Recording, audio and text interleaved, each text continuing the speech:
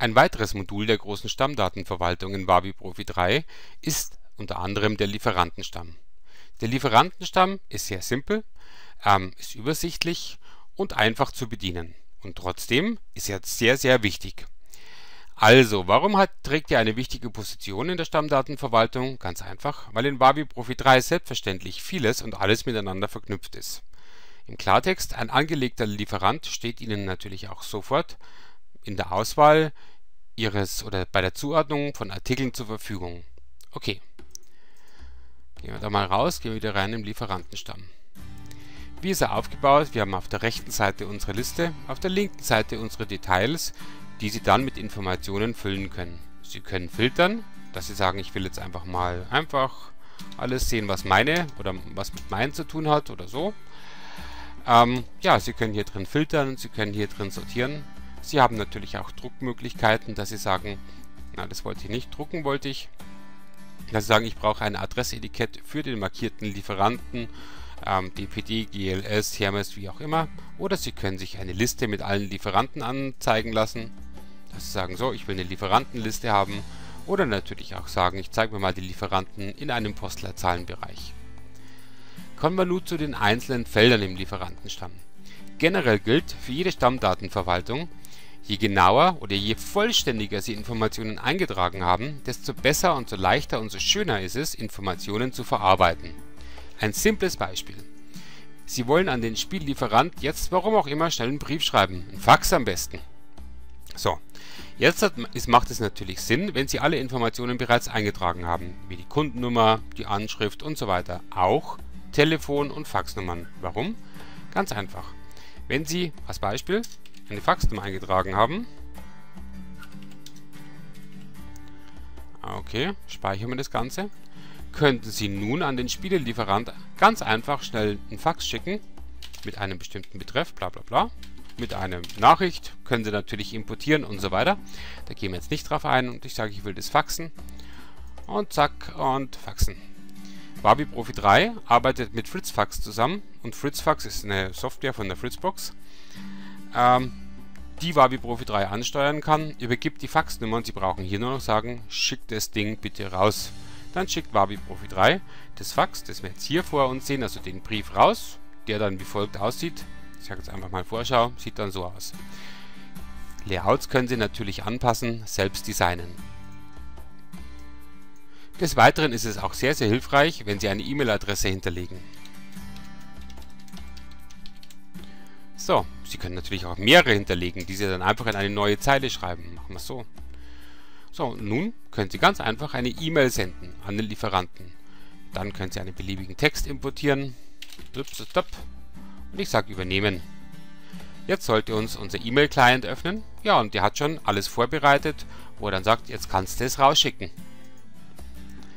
Also, der Lieferantenstamm beinhaltet schon viele, viele Funktionen. Sie können natürlich auch sagen, hier, ich springe mal schnell zum, ähm, auf die Homepage zum Lieferanten und Sie können sagen, der Lieferant hat natürlich Vertreter.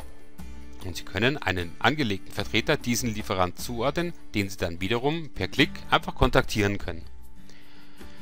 Die Felder sind soweit eigentlich klar. Kommen wir zu der Karteikarte Bank. In der Karteikarte Bank geben Sie natürlich IBAN, BIC und so weiter an. Und Wavi Profi 3 hat auch ähm, diesen kleinen IBAN-Container, der, wenn jetzt hier zum Beispiel noch eine alte Bankleitzahl drin steht, 75250, na, 00, machen wir so. Und ich klicke jetzt mal daher.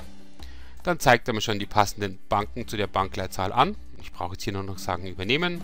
BIC wird automatisch eingetragen. Kontonummer mache ich einfach 4 mal die 0 oder 7 mal die 0. Und dann kann ich mir auch schon die IBAN berechnen lassen. So, bitte noch kontrollieren, aber im Regelfall stimmt's. Steuernummer ist klar. Konditionen ist auch klar. Hier tragen Sie ein, wie viel Rabatt, wie viel Skonto und wie viel Standardvaluta Sie vom Lieferanten bekommen. Denn Sie können ja auch Eingangsrechnungen erfassen. Und eine Eingangsrechnung, zum Beispiel von unserem Spiellieferant oder Spielelieferant, ist es durchaus möglich, dass Sie eine Warenlieferung bekommen und somit auch eine Eingangsrechnung des Lieferanten haben. Diese können Sie im System natürlich auch erfassen und natürlich dem Lieferant zuordnen. Hier unter Ein Eingangsrechnungen Ausgaben. So, und hier merken Sie auch wieder, ah ja, die Lieferanten hängen mit den Rechnungen zusammen, mit den Artikeln zusammen. Okay. Bei Bestellung tragen Sie die Mindestabnahmemenge oder den Mindestbestellwert ein, an dem der Lieferant Ihre Aufträge entgegennimmt.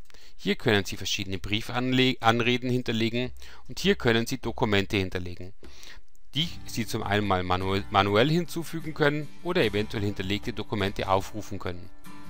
Sehr, sehr interessant ist auch die Karteikarte Einstellungen, denn hier können Sie festlegen, wie Eingangsrechnungen standardmäßig dieses Lieferanten behandelt werden. Simples Beispiel. Ähm, Sie bekommen eine Rechnung über 100 Euro. So, da sind 5 Euro Fracht dabei. Es gibt jetzt wiederum den einen oder anderen Lieferanten, der sagt, meine Frachtbeträge sind skontierbar. Der andere sagt, nee, nee, nee, Frachtbeträge werden bei uns kein Skonto abgezogen.